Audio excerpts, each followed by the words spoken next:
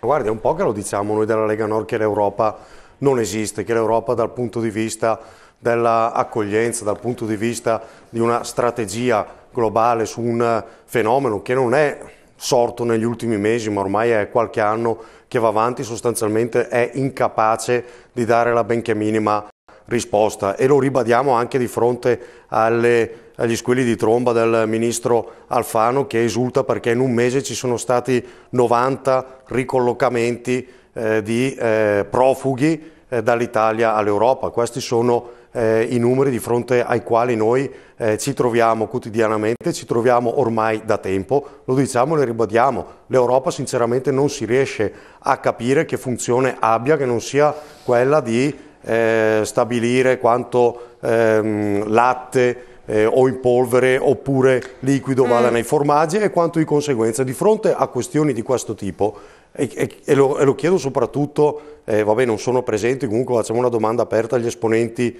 del, del governo, ma mh, mm, per quanto abbiamo ancora intenzione di prendere in giro innanzitutto i nostri cittadini dicendo che sia adesso in Europa, perché guardi, quanti eh, summit internazionali sono stati fatti in Europa sulla questione eh, degli immigrati? Più o meno uno al mese. Cioè lei dice Su... che l'Europa prende in giro eh, gli stessi cittadini europei proprio per ma questo? Eh, Invernizzi ci faccia capire.